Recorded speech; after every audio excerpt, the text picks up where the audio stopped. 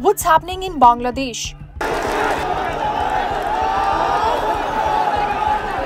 People are out on the streets calling for Prime Minister Sheikh Hasina to step down.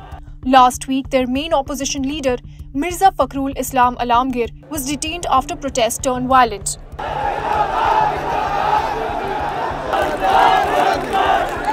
What's behind this unrest and have people lost faith in the Prime Minister? At the heart of this unrest are elections and the way the opposition wants to have them. Bangladesh will go to polls in January 2024.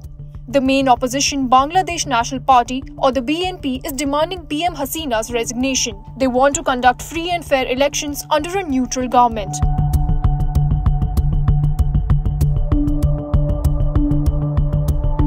But this is not a new thing for Bangladesh.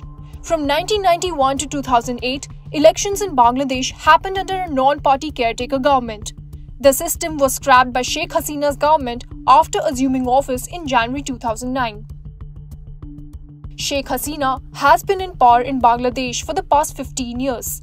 She is the daughter of Bangladesh's founding leader Sheikh Mujibur Rahman.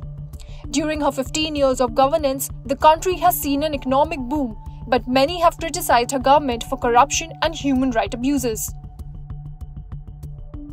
On 28th and 29th October 2023, around 1 lakh supporters of BNP and the largest Islamist party, Jamaat-e-Islami, took out a rally. Clashes broke out between the protesters and the police, and there were casualties on both the sides.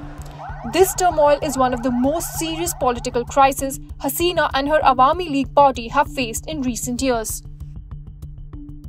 For more informative videos like this, keep watching India Today Newsmo.